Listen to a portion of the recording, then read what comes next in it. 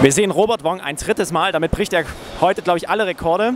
Ähm, denn Robert macht nicht nur Vertrieb für Vestax, sondern auch für Stanton.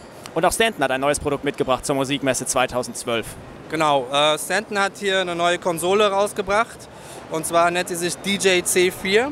Ist äh, eher so an den Einsteiger, äh, fortgeschrittenen DJ gerichtet. Ähm, eine kompakte Konsole, auf der Jogwheels verbaut sind im äh, Zweikanalformat. Man hat hier äh, eine reguläre Effektsektion pro Deck, ähm, eine Loop-Sektion und auch für Hot Cues und Sampler sind Tasten angebracht. Ähm, ja, es ist eigentlich Standard. Äh, man kann das auch für vier Decks benutzen, ähm, in dem, aber in dem Fall halt um, mit Umschalter. Und ähm, ja, wenn man sich das so ein bisschen genauer anschaut, äh, das sind eigentlich alle Funktionen vorhanden, die man sonst von der Konsole kennt.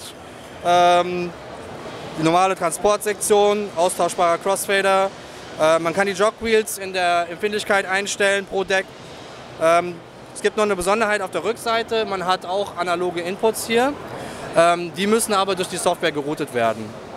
Ansonsten ist das äh, eine reguläre Konsole, die mit äh, Virtual DJ ausgeliefert wird. Virtual DJ NA. Ähm, ist sofort gemappt. Ähm, wir haben jetzt hier halt die Pro-Version drauf, um zu zeigen, wie es dann noch aussehen kann.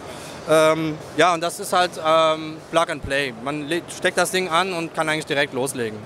Wann wird das Gerät auf den Markt kommen? Wie viel soll es kosten?